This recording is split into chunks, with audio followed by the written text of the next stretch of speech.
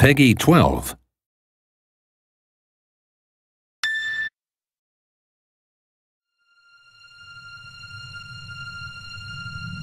Vana'diel. A world blessed by the goddess Altana. It is here the brave souls meet and part, each encounter weaving another thread into a tapestry of grand adventure. And now,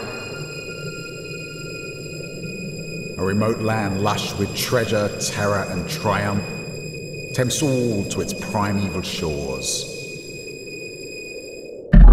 What do you seek in Adoulin?